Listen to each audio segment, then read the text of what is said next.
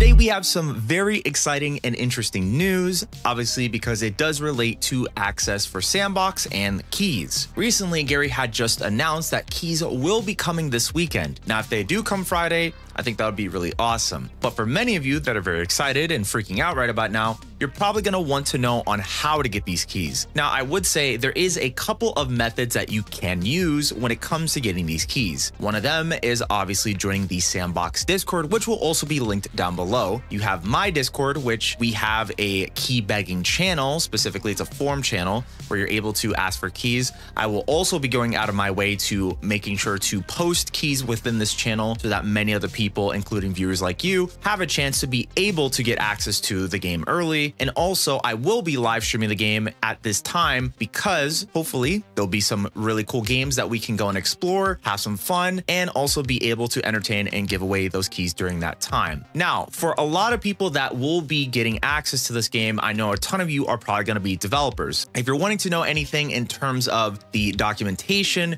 there is documentation that you can find, which I will also have linked below too, but there is some other resources that you can find if you're a person who works visually instead of just reading stuff that are really awesome, like Carson, uh, Smallfish, which is absolutely wonderful in terms of learning about the scene system. And then you have the Eagle One development team, which is perfect for any sort of hammer mapping within Source 2 if you want to learn more about that. So I would say, what might you expect during this time? Well, please make sure to keep your expectations very low because the game is still in development and there is a lot of things that need to be done during this time.